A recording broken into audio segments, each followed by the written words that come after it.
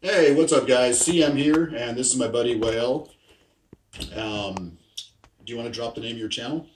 It's uh, Sabeel Combatives, S A B E E L, Sabeel Combatives, and the website is sabeelcombatives.com.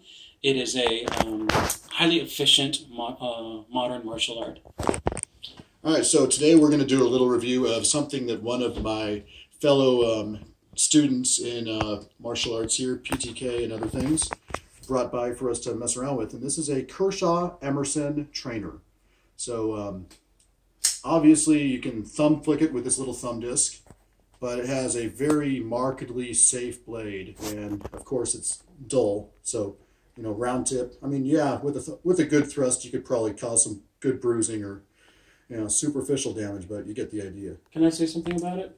Right. So this is actually mine, and Stephen gave it to me, and um, I like that it's you know realistic in every way. You can practice opening it, um, but I feel the clip is on the wrong side. Like for me, I my other knives all have the clip up here. Oh, tip so down. that when you draw this way, your thumb comes into place on the thumb stud and you open. So I don't know. What do you think about that? Yeah, I, I'm surprised that they did it, but the the reason why they mount it for tip up only is take advantage of the Emerson Wave opening device, where I usually keep mine the clip on the lefty side, so to enable a left hand or right handed draw. into Oh, I see. yeah. So it's designed. Salma, Sorry. So if I'm my dog is more interested in the cats. It's designed to open into Pikal. so if I'm using it as it comes out of the box, Yes. I see. Mhm. so I think that's the reason why they for forego the tip down uh, carry position. But if you're carrying in the left pocket and you're doesn't matter if you're left-handed or right-handed, out of the box you can do a left-handed drawn to Pikal. Edge out, of course. Okay, so I need to not bother with the thumb stud at all and just rely on the wave opener. That's what I do with uh, my live blade. I use this a lot to just practice my my angles um, and my grip changes. Right, so I go one, two, three, throw a shot here. One, two, three. Uh, come across, change hands. One, two, three. I throw a shot here. I change grips. One, two, three, and I don't have to worry about cutting myself, which is nice. Yeah, that's uh, definitely added bonus of having the trainer. But these things are really inexpensive. I think they're like uh, under fifty dollars. Depending on where you go, eBay, you can probably find them for thirty.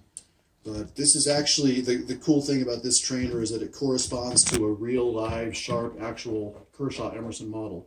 So if you get proficient in the use of this thing, you can. Oh, there goes a kitty. It's an orange cat. Orange cat. So yeah, if you get proficient in this thing, you can easily, you know, do all the same things with the live version. So if you're a student getting into uh, Kali or any of the other edged arts, you know, you might want to pick one of these up.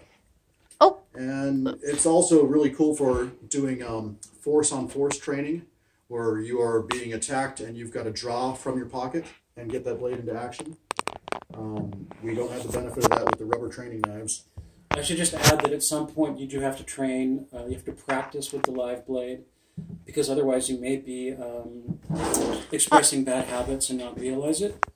You might be uh, brushing yourself lightly with the knife and not even notice it. When I started uh, practicing with the live blade, I sliced my pants open on both legs, left and left and right thigh, and a couple of times uh, in- while changing grips, I dropped it and it fell into my thigh, point down, Ooh.